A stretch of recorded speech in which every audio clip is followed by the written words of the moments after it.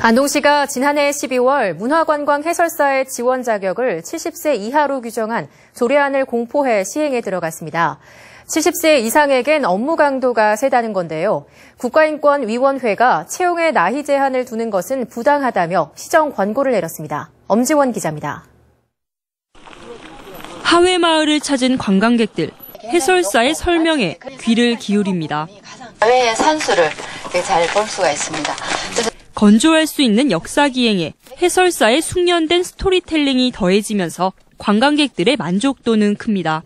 저희끼리 오면 그냥 동네 한 바퀴 돌아보고 어, 이런 유래라든가 또 옛날에 있었던 이야기들을 설명해 주시니까 어, 굉장히 재미도 있고 또 기억에도 많이 남을 것 같고요. 일주일 중 하루 이틀 정도 일하고 소정의 활동비만 받는 봉사직이지만 5, 60대 주부나 퇴직 남성들 사이에서는 인기입니다.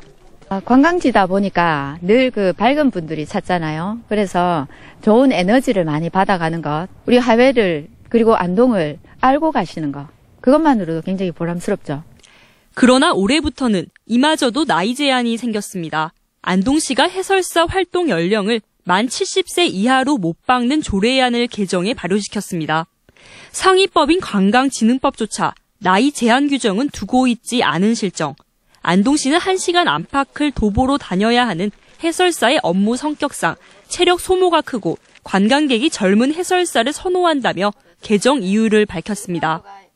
인권위는 건강의 경우 개인차가 커 체력 검진 등의 방식으로 선발 가능하기 때문에 해당 조항을 고칠 것을 권고했습니다.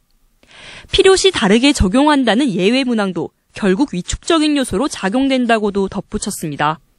온 70세 이상 되시는 노인분들이 아예 그러면 내가 지원해봤자 되지 않을 거다는 그런 인식을 하게 될 것이고 그렇다면 실질적으로는 지원을 하지 않는 결과가 오기 때문에 안동시는 한 달이 넘도록 인권위 권고를 수용하지 않고 있는 가운데 2월 중 70대 해설사 3명에 대한 심사위원회가 열릴 예정입니다.